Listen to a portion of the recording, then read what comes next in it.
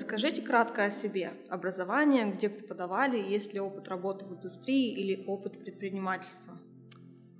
Ну, я закончил Воронежский государственный университет, там же защитил кандидатскую диссертацию по физико-математическим наукам.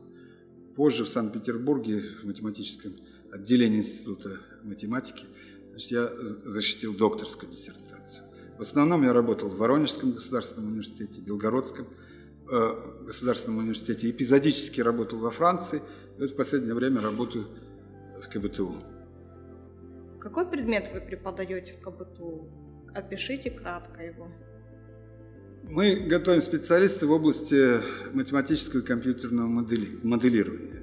Специалист в этой области должен иметь достаточно широкое образование. Он должен э, хорошо знать математику, значит, знать некоторые разделы физики, там, химии, э, ну, то есть те разделы, где он в будущем будет трудиться. Э, он должен быть в состоянии, в идеале, значит, написать математическую модель реального физического процесса, ну, например, скажем, э, движение нефти там, в, пористой среде, да? написать соответствующие уравнения и создать программный продукт, который бы э, по этой модели смог реально э, посчитать интересующую нас величину.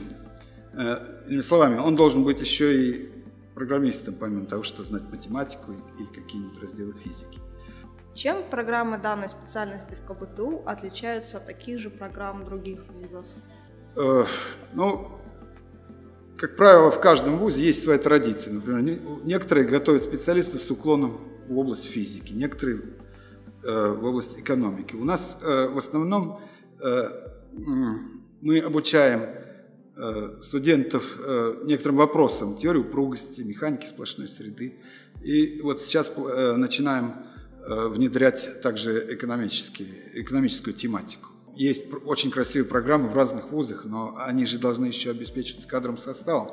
Э, вот э, для меня приятно отметить, что на нашем факультете работают специалисты с мировыми, с мировыми именами. Ну, например, академик Джумадилдаев работает у нас. Дейрбеков долгое время работал в Америке, это геометр с мировым именем. Вот. Э, приезжают специалисты, которые в совершенстве владеют супер, э, работой с суперкомпьютерами из Новосибирска. Вот. То есть кадровый состав обеспечивает э, реализуемость той красивой программы, да, которая у нас существует. Какое будущее ждет выпускников этой специальности? Где они могут работать?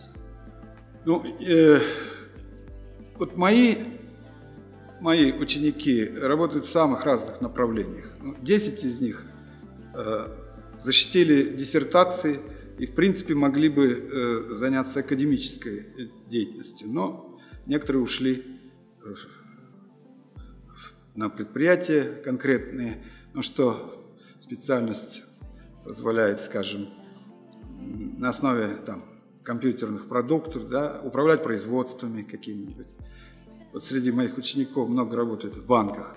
В Сити-банке в Лондоне сидит мой ученик, например. Несколько учеников в Сбербанке России.